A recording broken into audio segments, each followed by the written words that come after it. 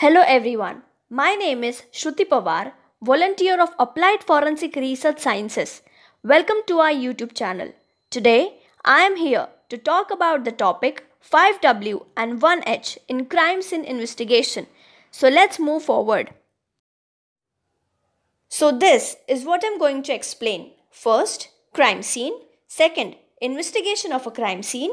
Third, 5W and 1H also referred to as cardinals. Fourth, explanation of these cardinals with respect to crime scene investigation.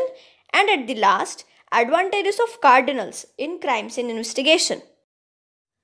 Next is crime scene. What is a crime scene? A crime scene is a place where particular crime has been committed or a place where crime has taken place. A crime scene cannot be limited to one place only. It may extend to one or more. So, crime scene is a place where a criminal offense has taken place. It can be any kind of criminal offense like murder, theft, robbery, etc. Crime scene can be indoor and outdoor as well. To know more details about crime scene, do visit our video Basic Concept of Crime Scene. The link is given in description below. Now, investigation of a crime scene.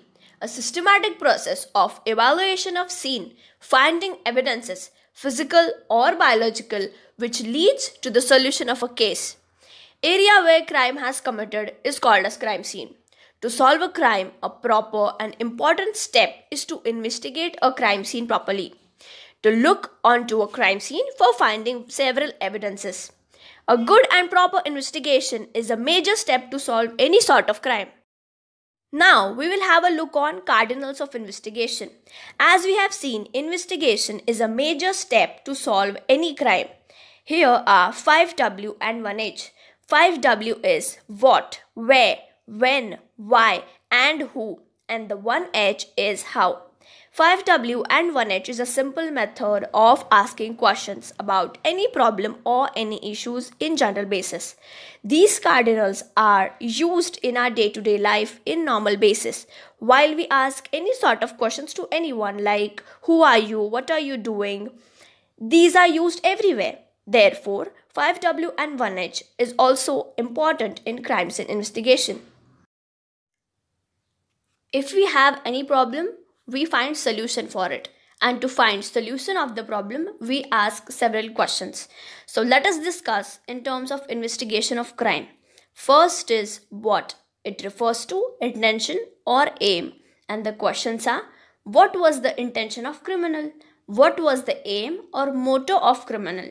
Or what offense has taken place? Or what offense has been committed? Second is where it refers to the location or site and the questions are where is crime committed? Where is witness or accused or suspect? Where is location of crime? Third, when refers to time. Questions are when was crime committed? When was police informed about the crime? Fourth, why refers to cause or reason. Questions are why was crime committed? Why did he or she killed the victim?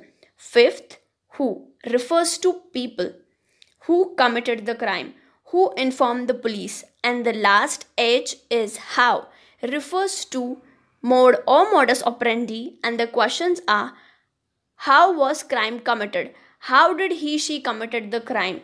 These set of questions leads to an investigation in a very proper way. Now Advantages of these cardinals that is 5W and H1 in investigation of crime.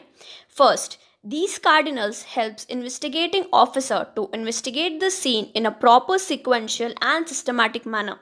5W and 1H helps a investigator to set problems and its answer in a proper method and a very hassle-free way. Second, helps investigating officer making questions which are required in interviewing complainant, witness and also helps in interrogation. This means 5W and 1H helps framing lots of questions especially during the interview and interrogation. Third, help investigating officer in making a proper report how crime is committed. Fourth, these cardinals also helps an investigator in searching crime scene and some important specific evidence as well. By asking lots of questions, officer can find the answers and can also find crime scene and specific evidences found on crime scene. Now it's the end of the video. So it's time to check how much you learned. And the question for you all is in crime scene investigation, the term what for 5W rule represents which of the following? A. Nature of crime. B. Time of crime occurred. C. Place of crime scene. D. Modus operandi. If you got the correct answer, please comment down below. And as you all know, in our previous uploaded video, the topic forgery with case study, in that MCQ question, forgery crimes under dash section, and its answer is C 463 of IPC. Thank you for watching. Please like and share and don't forget to subscribe.